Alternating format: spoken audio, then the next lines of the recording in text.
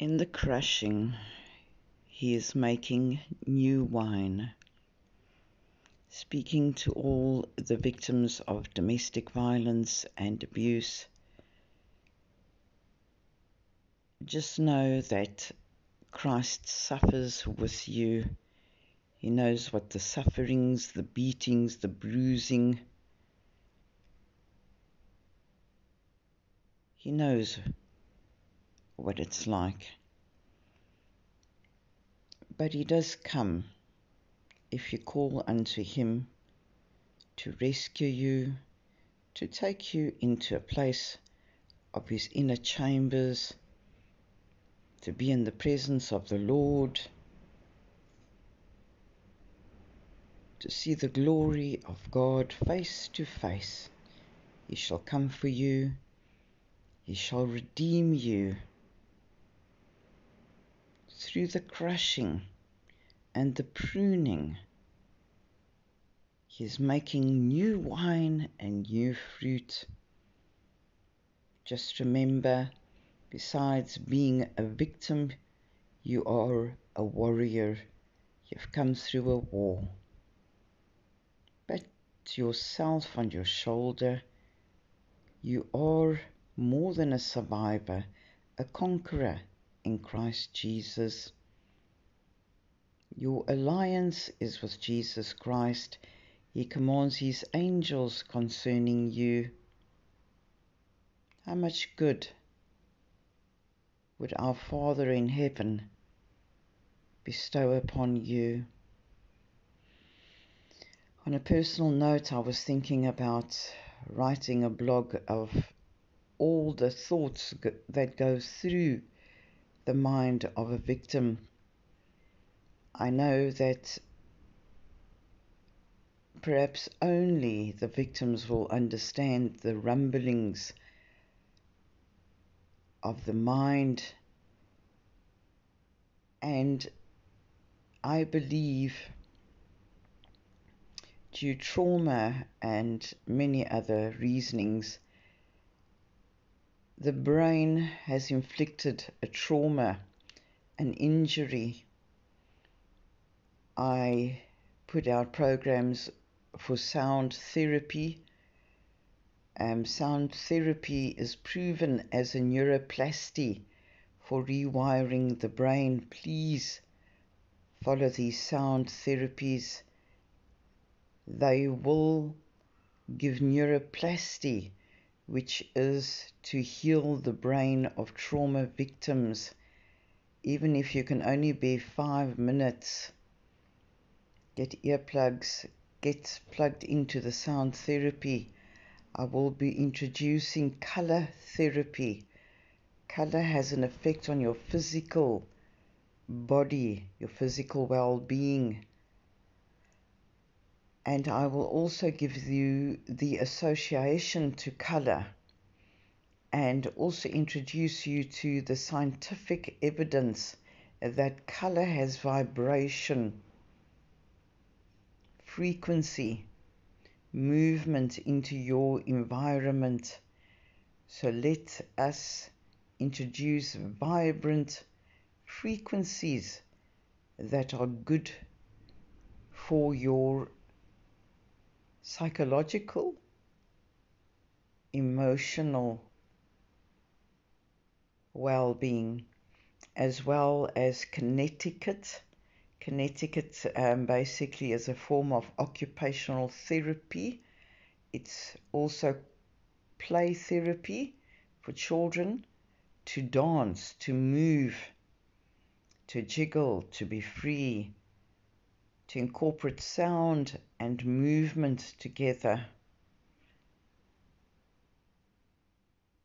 Those are aspects of life that bring you into the present moment now, which many like to call the what do they call it in the secular world? Thoughtfulness, mindfulness. I call it Christfulness to bring you into the now moment, as the Hebrew language has no past, present, or future. They speak in the now moment. And I call it the wow moment. Because in English we speak of a past, present, and future. Hebrew speak of now. It brings us very close to the Bible verse where it is said, Let thy will be done on earth as it is in heaven now. It is done, it is finished. Thank you, Abba Father. So, yes, starting a blog on WordPress, the rumblings or thoughts or whispers, the thoughts coming from the background of trauma, Uh, thoughts that are remembered, and then followed with a dialogue of reasoning and then comparing it to the whisper of the Holy Spirit. So it would be in a three form dialogue presentation. But to spill the beans, we shall spill the beans, all the dirty, bad, sad, clean beans. And I really want to ask that the audience interact with me if you are violent that was subjected to covert, overt, covert abuse. I learned about all these overt abusers and I'll give it a name. I think the covert, covert and psychological is the worst injury of all because it connects the mind and the heart which tie and keep the victim in bondage to the abuser. We need to learn how to untie this knot. And I found that no matter where you find yourself today,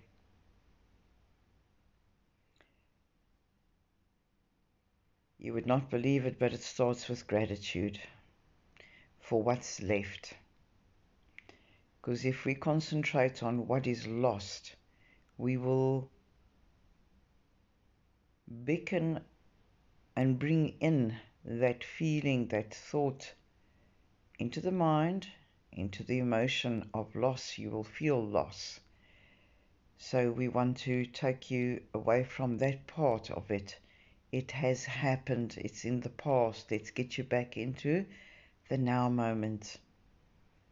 It starts with gratitude, and sometimes many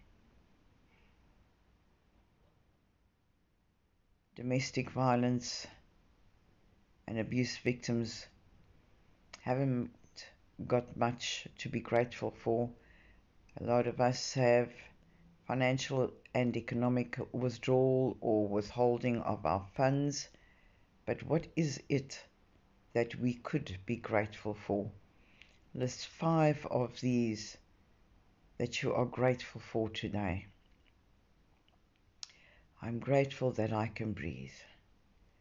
I'm grateful that I can move. I'm grateful that I can think. I'm grateful that I have shelter. I'm grateful that I have clothes. As simple as that. It could be elaborate it could be, I'm grateful that somebody sent me flowers today. I'm grateful that someone served me breakfast today. I'm grateful that I have good friends. I am grateful that I have a support structure. I am grateful for the breath that God gave me to breathe. Watch out for the blog. It's going to get honest with the feelings and the emotions. I know that the Christian doctrines don't like to hear many of the emotions that a victim goes through, but I believe that whilst going through, it means you're going and coming through. It's a process. Healing is never a clean job. It is messy. It can look messy. Stop living in shame and guilt while you're healing.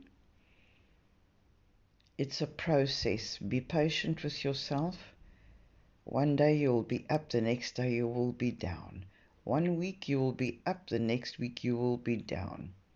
Two weeks you will be up, two weeks you will be down. Be kind to yourself going through the phases and the process of healing. Listen to your body. Above all, try to stick to a routine of waking up, keeping your day busy.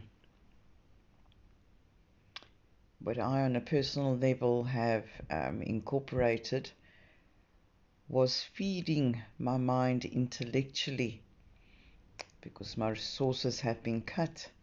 So I can't do my arts, I can't do this, I can't do that, my gardening, etc., etc., which were the other forms of my outlet. I make it a priority to learn something new each day. So I go onto YouTube and I learn about quantum physics. Although that still baffles me, I have a lot of questions. I'm semi getting it, semi not. Um, yes, my systems are slow, so I'm extremely frustrated. But I try to also listen to a sermon that is uplifting because we all need to feel uplifted and empowered. Being victims, a lot of us felt helplessness and hopelessness. We need to reprogram ourselves when somebody speaks positive as to uplift us. And then to become more educated. If you were involved with a narcissistic abuser, equip yourself, educate yourself so that you may know better to prevent the pattern and the cycle. You must come face to face with the reality that it had something to do with your value and your worth.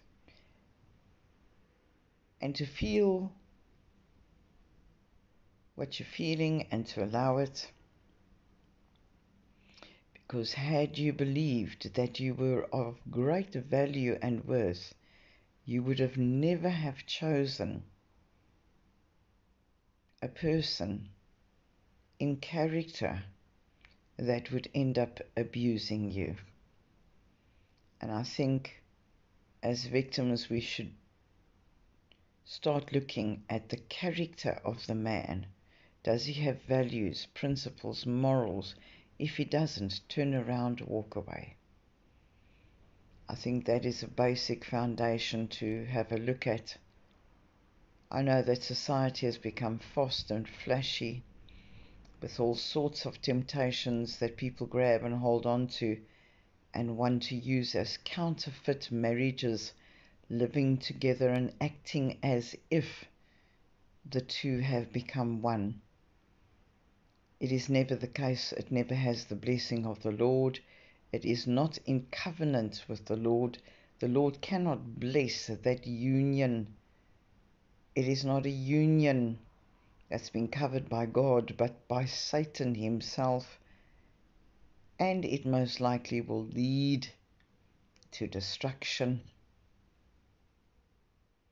The knot that ties the two together is Jesus Christ. For three rope knot cannot be broken easily. know your boundaries, set your boundaries. You know, in my healing on the 1st of April, April Fool's Day, it will be a year that I'm living in my place of residence with trying to help the abuser total four times he took me out. Every time I extended kindness, I was kicked in the teeth or the back.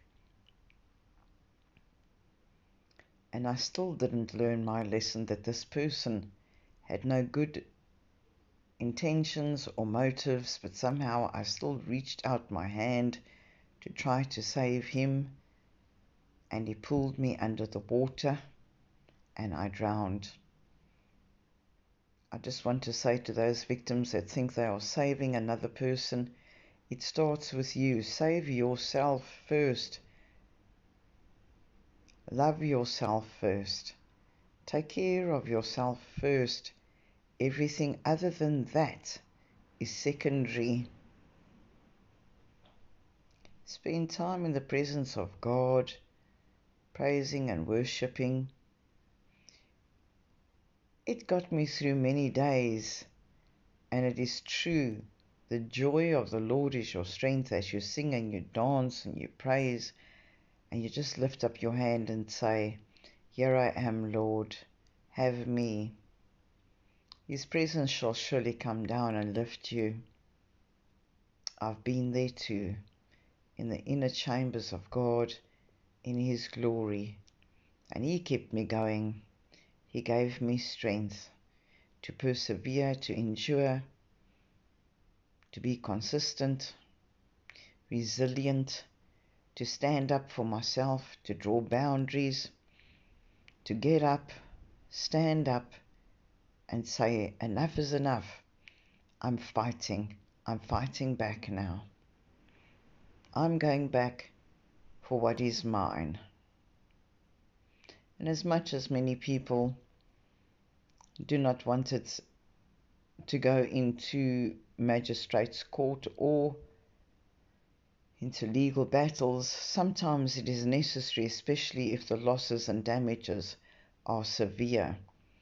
It's not a nice part of the whole process, as there are many feelings of anger that arise that might look like resentment and bitterness, but it is a righteous anger because unrighteousness does not come from the Lord.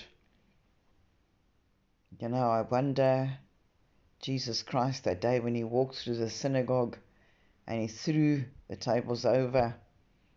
He also had a whip with him and he chased the people out of the synagogue. I wonder if he used that whip. Sometimes people need to be corrected and punished because they took the mercy and the grace and forgiveness of God. They took it for granted, have no remorse, do not want to repent, and sometimes people like this need to be handed over to the law so that the law, with its rules, can decide what is right and what is wrong. Dear victim, if you find yourself in a day that's up, be up If you find your day in a day that's down, be down. Be kind to yourself. Learn to heal. Listen to your body and hear for his whisper. He whispers to your inner being, and he has commanded his angels concern you, concerning you, to minister deep within, closer than a brother, a friend indeed. May it go well with you. Stay tuned for my blogging on a dialogue three thought, my thought, my emotion, and the whisper from the Lord. Enjoy the blogging. of WordPress, I will send a link to one of my articles soon on this recording. Stay tuned and keep your eyes open for this. Do not miss out. And please do comment in the comments section if you have listened to this recording. Dear victim, dear beloved, and in closing, let's close with a prayer. I pray for the victims of domestic violence and abuse. Abba Father, I just ask that your presence will be with each of them, Abba Father, with the pain, the hurt, physically, emotionally, intellectually. Abba Father, whatever the situation is or the circumstance, Abba Father, I want you to beckon down with your hand, command your angels concerning these victims, Abba Father, and be with them so tangible that they can feel your presence, that they may enter into a place of your glory, and may the victim know that they are in your presence. Abba Father, may a spirit of joy and rejoicing come upon the victims, Abba Father, for the joy of the Lord is their strength. It is done, it is finished on earth as it is in heaven, the third heaven. It is done now on earth. So shall it be, so be it, to the perfect will of our Father Abba, Elohim Hashem, Adonai El Shaddai. It is well with my soul. Gratitude equals latitude. Thank you, Lord Jesus. Thank you, Abba Father. Thank you, Holy Spirit. Thank you, Holy Spirit. Spirit of truth, you are welcome in the midst of us. For we walk in spirit and in truth. So help us, God. Forgive us, Father, for we know not what we do. Come, Lord Jesus, come. Come, Lord Jesus, come. In the precious holy name of Jesus Christ, our Lord and Saviour indeed. It is done, it is finished on earth as it is in heaven. The third heaven it is now on earth, it is done, it is finished. Thank you, Abba Father. Thank you, Lord Jesus. Thank you, Holy Spirit. Spirit of truth, you are in the midst of us. We walk in spirit and in truth. So help us, God. Emmanuel, God is with us. In the name of Jesus Christ. So shall it be, so be it now. It is finished. Amen.